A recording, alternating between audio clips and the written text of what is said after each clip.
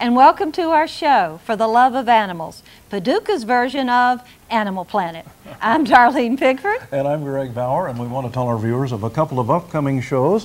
One is on disaster planning for your pets. We Wow. talked about it for humans, but what about your pets? Excellent. And also one on my favorite things, uh, kind of a repeat of some things we did last year, but the same motif, but not uh, exactly the same content. Great. So, what do we have on today, Darlene? Well, we want all our viewers to go get their crayons, their past- pastels, and paper and pencil because we're going to learn how to draw your pet. We're going to be able to draw our pet and paint our pet, and we have an excellent demonstration, Greg. Okay. Introduce our guest. I'll be most happy to. Uh, our person over here that we're that we're featuring today is Gretchen Smith, who is here with the Artist Relocation Program. Hi, Gretchen. Hello. Hi, glad to have you with us. And uh, uh, she also teaches classes for par- the Paducah Park Services. And assisting her this afternoon is Vincent McCann, uh, one of her students. Hi, Vincent. Hello. Hi, Vincent. How are you? Good. Glad that you're here today. And Vincent, how old are you? Nine. Nine. All right. And where do you go to school? South Livingston Elementary. Okay, over in, in uh, Livingston County. And I understand that you have just got two new kittens, right? Yeah. And what are their names? Brutus and Siren. That's wonderful. And you told me before that you got them from Creatures Great and Small, which is a no-kill facility uh, here in McCracken County. So I'm so glad these two kittens have a good home. That, that's great. Um, well, Gretchen, why don't you tell us a little bit about uh, the things that you've been doing with Paducah Parks and uh, Yourself as an artist. yes. Thank you. I'm a Christian artist, so most of my artwork is based in my faith. And I really like to um, reach out to children. So Vincent is one of my students, and I'm blessed to have him here with me today. Um, I am an abstract artist professionally, but I teach more realism because people like to be able to do realism. So that's where we usually start. And um, I've been doing this for 12 years. And I I'm very tall, as you can see. so my website is tallartist.com. And you can see lots of artwork by myself and my students there. Okay, very That's good. wonderful. Well, Greg, why don't we uh, take a short break and remind everybody to get their paper and pencils and that you'll be able to view this and other of our um, productions at a website. Yes. And that website, Greg? It will be at www.paducah2.org forward slash video clips, one word, forward slash animals. And you, all of you will be able to see this if you have high-speed internet. Right. So, Okay.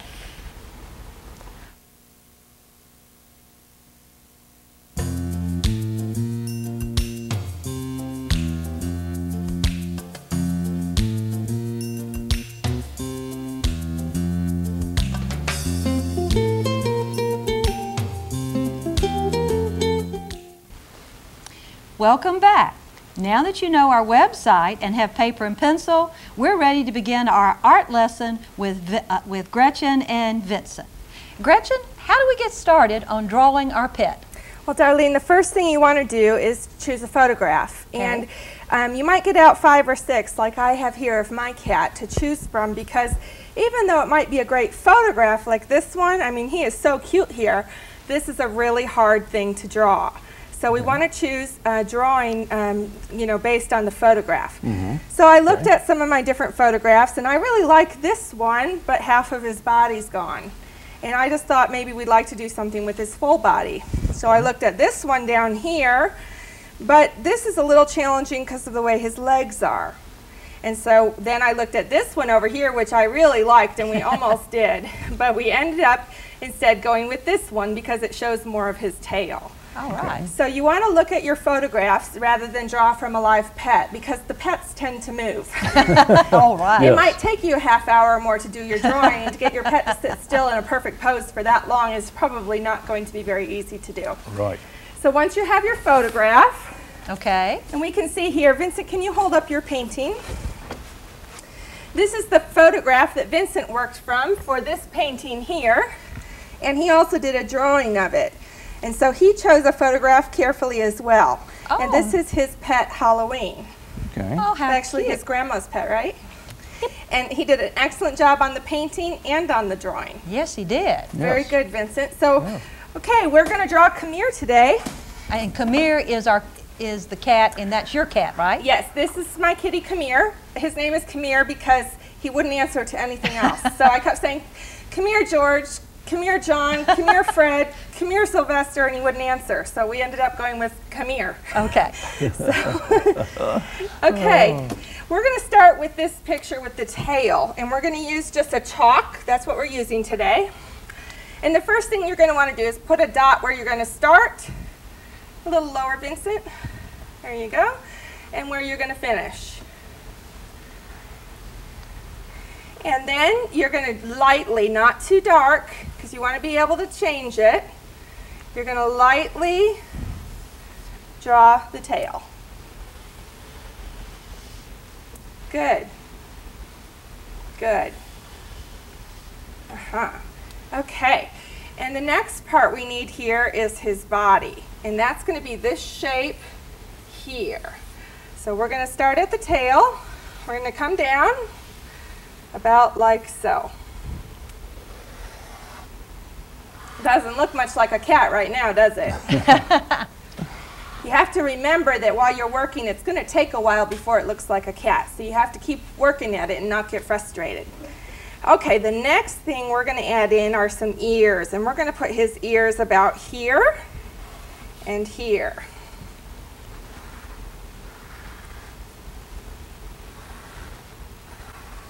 Good. And Vincent's got a little bit of a low ear here, so we're going to raise it up. And instead of erasing, we're just going to go a little bit higher and redraw the line. We don't really need to erase. Okay. When we're when we're real artists, real artists don't take that much time to erase because you have to set your chalk down and pick up the eraser and you go like this and you pick your chalk back up. It's much faster just to keep Right. working. And you can color it over later. Okay. Neat idea. Next thing we're going to draw is the nose. I'm going to start with a little dot down towards the bottom of the body. And then that dot has these kind of wings that come off of it, like that. Very good. And on both sides, did you get both sides, Vincent? Yep. I did. Good. Okay. And we know that we're going to have a triangular shape now, so we're going to very lightly add the shape in, not too dark. Very good. And down from the nose comes a line. It goes kind of like that.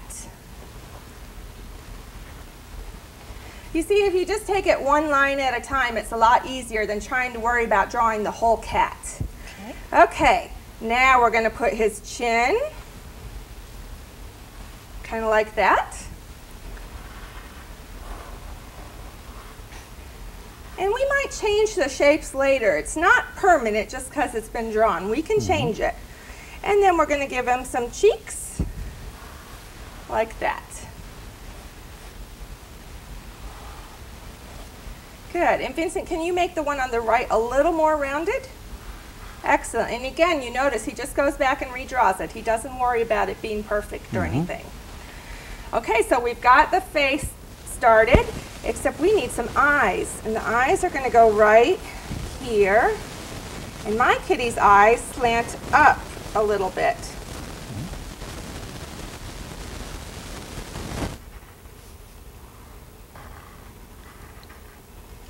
Good, and I think you're going to need to make them a little bigger, Vincent, from the bottom and the top. Good, very good.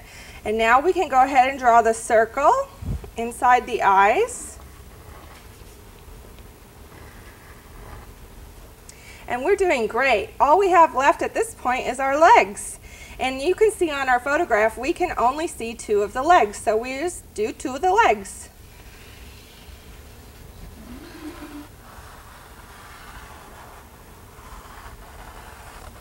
Good. And then his other leg is a little bit shorter here because it's kind of be back a little bit. so if it's behind him, it's going to be a little bit shorter there. That's amazing how well. That's excellent. Oh, it is. And he did a very good job. And you know, if you're a mom and you're helping, this is a good time to go in and just kind of help just a little bit darken some of the lines that are really good. Like this is an excellent line here. And this is an excellent line here. And we got your circles and your circles. And then on the on the ears, we can notate which ones are correct by darkening the ones that are correct. All right, so Vincent, that's excellent. You did a really good job. Was that too hard? Nope. Nope, pretty easy. Wow, I am so impressed with these drawings. Yes. Well, Greg, I think it's about time. Uh, why don't we take a short break and show our viewers a happy tale? And of course, it's about Camille, which is Gretchen's cat. Yes. So let's take a look at this.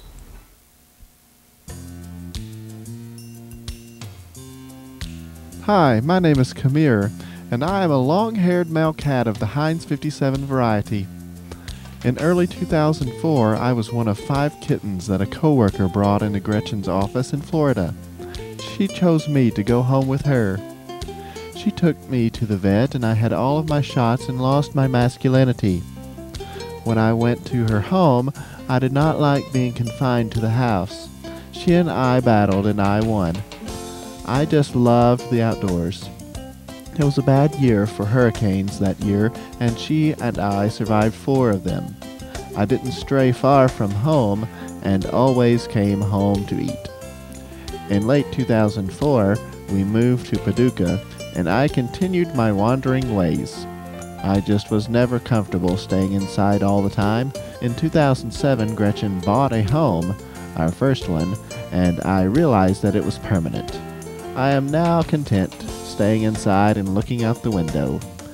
I know that this is my permanent home, and I thank Gretchen for putting up with me. Gretchen, I love you. We hope you enjoyed that little story about Kamir and uh, all of his misadventures uh, over the years. Um, we have something very interesting right now uh, from the Buffo family in Kansas City. Darlene? Well, we have some more family art.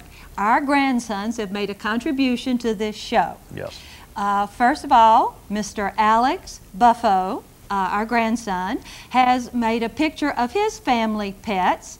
They have three dogs Bogey, Sammy, and Miley, two fish, KC and Fishy, and a bird named Taz. And this is his drawing for our show.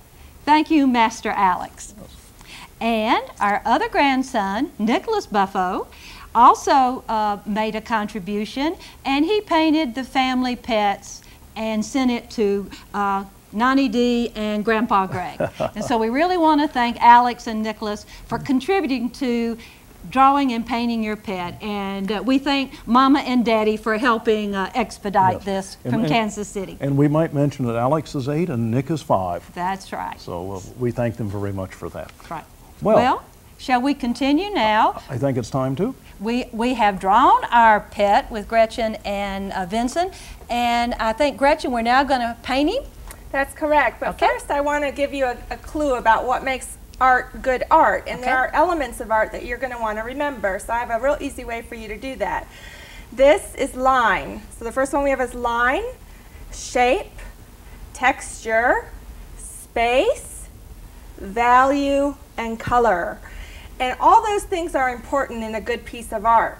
So, so far on our art, we have lines and shapes. We don't have any color, we don't have any texture, and we don't have any value, but we do have space. You notice that we filled up our whole page with the cat. We didn't make it little bitty on this big piece of paper, we made it nice and big. So that's the good use of space there. And we planned it out pretty carefully so that there'd be room for the tail and the feet. We thought about where that would go. All right, so when um, we add color and texture, you don't need to make it real. We know your kitty's black or gray or brown or orange, but have you ever seen a green kitty or a pink kitty or a blue kitty? So we're going to show you how you can make your kitty how you might want him to be or your dog how you might want him to be. so we're going to choose some colors and just get to work and you'll get to enjoy watching. And it really doesn't matter where you start. I think I'll start with the tail with green. All right. What color are you going to use, Vincent? Teal. Go for it. and it doesn't even have to be one color. We could do stripes.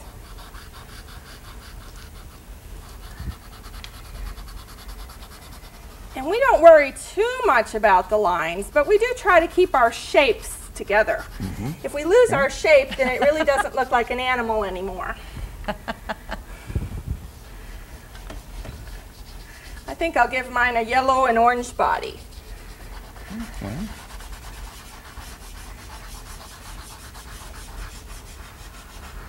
Well, and I've always wanted a polka dot cat, and I've never seen one, so I'm going to add polka dots. Poor kitty. Oh, My kitty's going to be glad I didn't dye his hair these colors.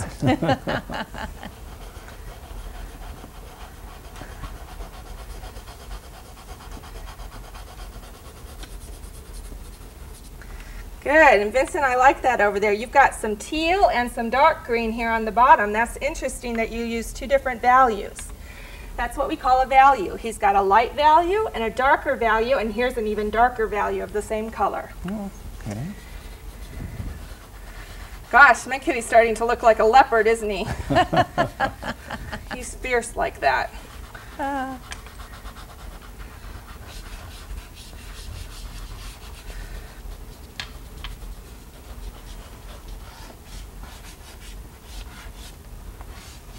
You know, in school with so many rules that you have to obey, it's nice that this is free form. You get to pick your own colors and everything. I think that's neat. Crew- Right. The thing you just want to really remember is not to lose your shape, because your shape is what makes it be an animal.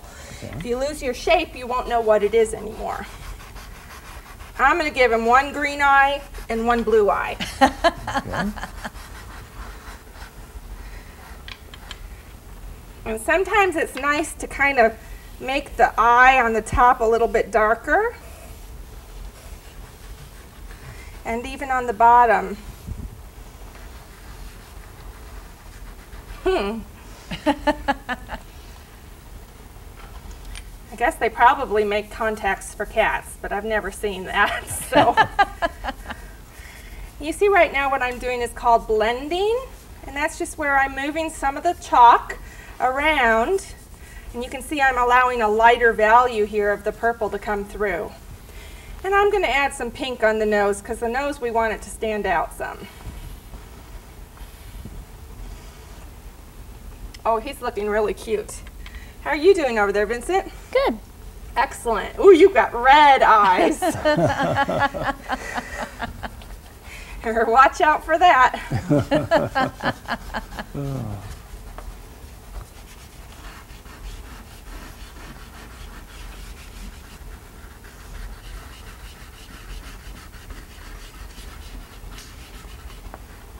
It looks like a ca- almost a calico kitty.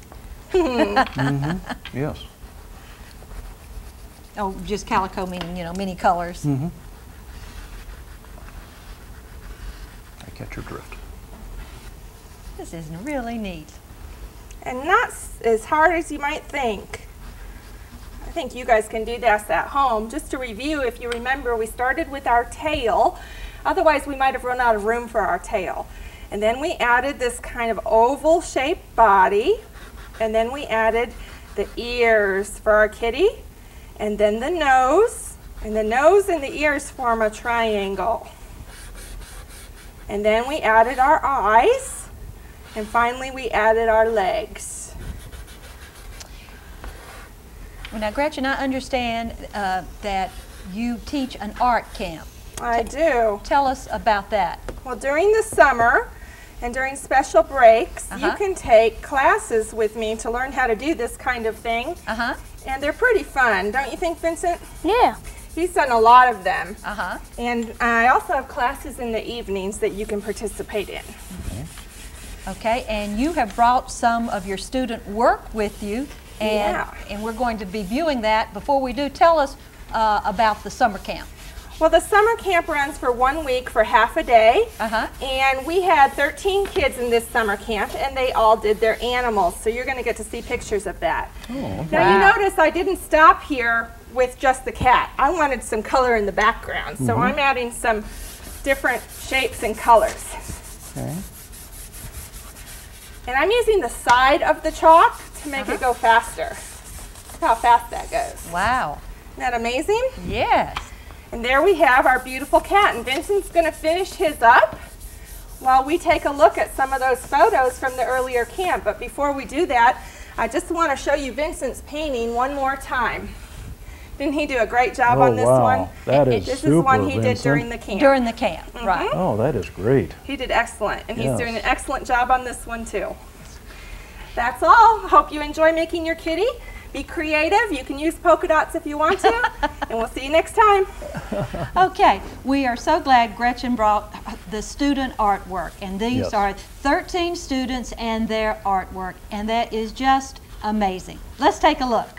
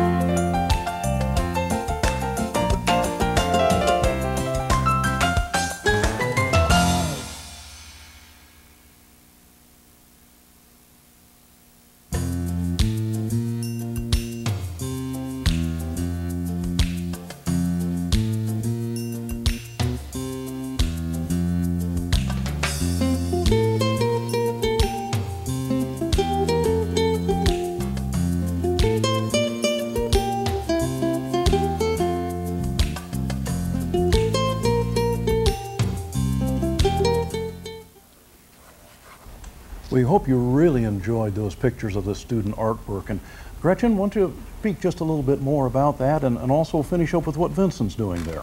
I was so impressed with what I just saw, Gretchen. Yes. You did a wonderful job with those students. Thank you, but it's not me really. God deserves the glory on that. He just gives me the patience to The patience work to do with it. the students, and um, not always either. I have great students. Vincent is just a perfect example of that. Um, they have an immense amount of talent, and it's just really my job to draw it out of them.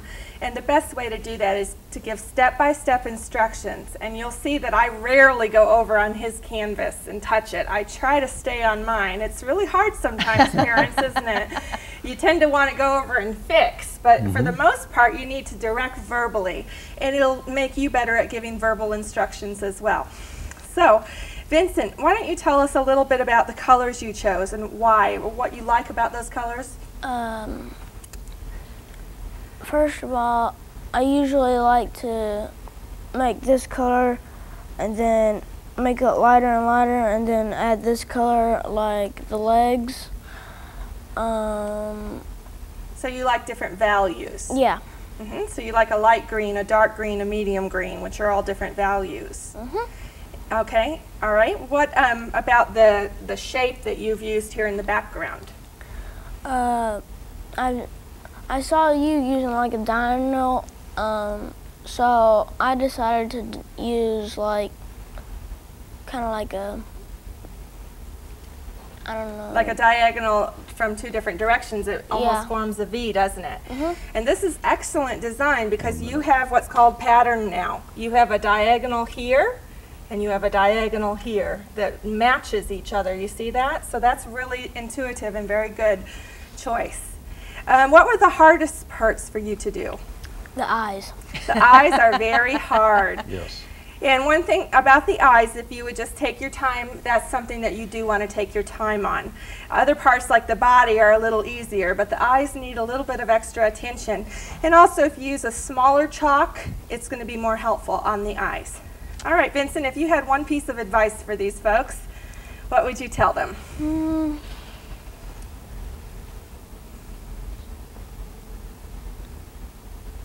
Don't really know. Don't really know. well, do you like art? Yes, I do. And what is it about art that you like to do? Tell us about some of your creations, Mm, other than animals and, and cats.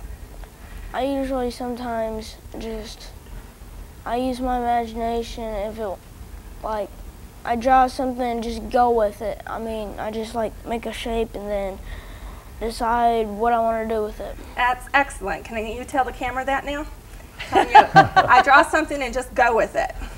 I draw something and I just go with it. Oh, there go. Fantastic. Okay, good job. Good job. Vincent, this is an excellent drawing. I'm very proud of you, and you didn't even get nervous in front of the camera. Excellent No. work. Oh, and I'll tell you, where does time go? I know. Gretchen, if we wanted some more tips about drawing, what's that website again? Tallartist.com. T A L L A R T I S T.com. Great. And, and if they're interested in signing up for some lessons, uh, how do they do that? Everything's on the website, and my telephone number is there, and they're welcome to give me a call. And the park service number is, 270-444-8508. so if I were interested in art classes with, with the Paducah Park Services, that's the number I'd use, right? Absolutely.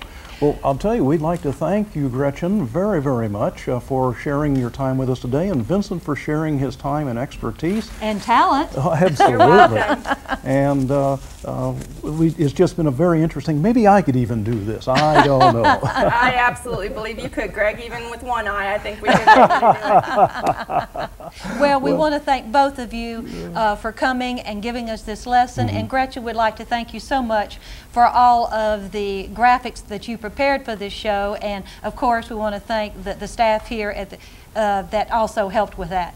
Greg, where does time go? Uh, it, it goes fast, fast, fast, goes bye bye. Right. Anyway, we would like our viewers to remember give your pet a little extra love today and, every day. And draw that picture. There you go. See you next time.